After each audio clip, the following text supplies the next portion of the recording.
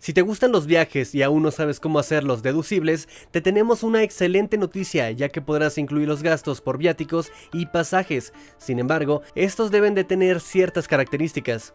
La ley del impuesto sobre la renta en su artículo 28 señala los cuatro puntos elementales por los que permite deducir impuestos a la hora de viajar por negocios.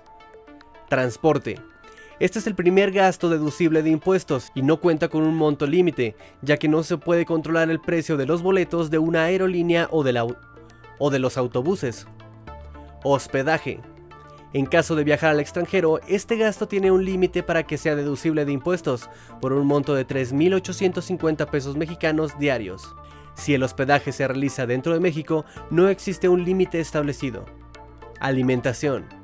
También hay un monto límite que no debe exceder los 750 pesos diarios en caso de viajar dentro del país o los 1500 cuando el viaje sea al extranjero. Renta de transporte. El uso de un auto temporal también es una opción para deducir impuestos. Eso sí, si sobrepasa el monto límite que es de 850 pesos diarios tanto dentro como fuera del país. Así que ya sabes, siempre y cuando se trata de un viaje por motivos laborales, puedes someterlo a estos consejos y ahorrarte un poco.